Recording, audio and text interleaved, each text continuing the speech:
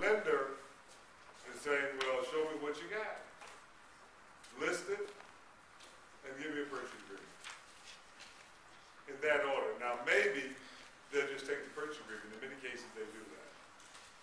So what we're gonna go over you tonight is how the, how the Rosenchild just short the house and how's it put together hundred percent finance.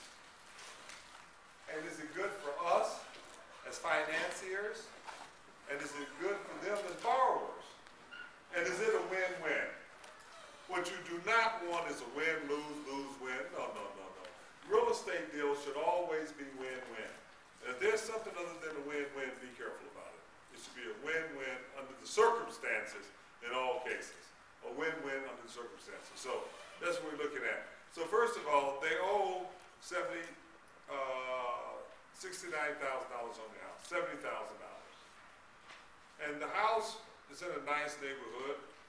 In this case here, now, what we have here in the purchase agreement, which you get, is a form of agreement. And we've taken out all of the addresses, and so what you really have essentially here is a, I just took the name out and stuff. So we put the address in right here. Simple purchase agreement. What do you buy? You buy the land and everything that sits on top of the land. You're not buying the building, because you can buy the building and not the land. Did you know that?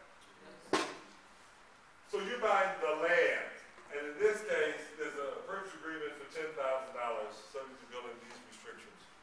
Jason, take it up for me. Okay? The sale is to be consummated by the vendor with duty warranty deed that extinguish any rights that the existing seller have, and you're gonna take the deed and the title, and it's contingent upon the purchaser's secure necessary financing.